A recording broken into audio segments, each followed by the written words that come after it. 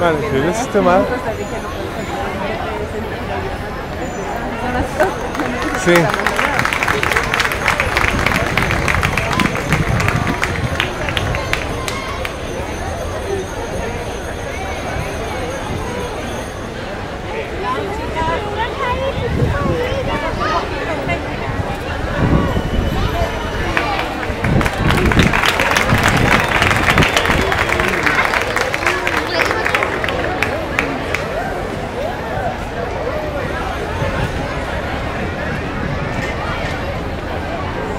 Seas tan caballo.